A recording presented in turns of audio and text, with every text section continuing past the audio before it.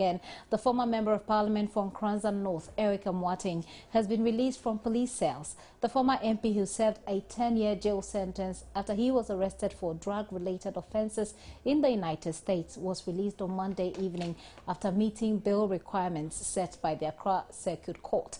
Eric Amoateng on Friday failed to meet the bail requirement after the court had granted him bail to the tune of 200,000 Ghana cedis with three sureties to be justified.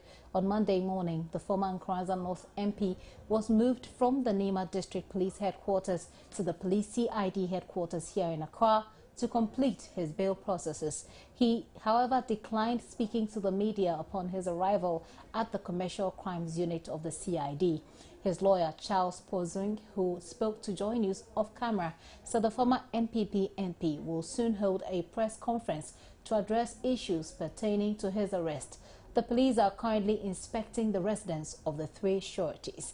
Joy News, Joy News gathers that Mr. Martin will be in Accra and will be required to report to the police twice a week, contrary to expectations that he will be moving to his residence in Nkoranza North after posting uh, after the bail processes.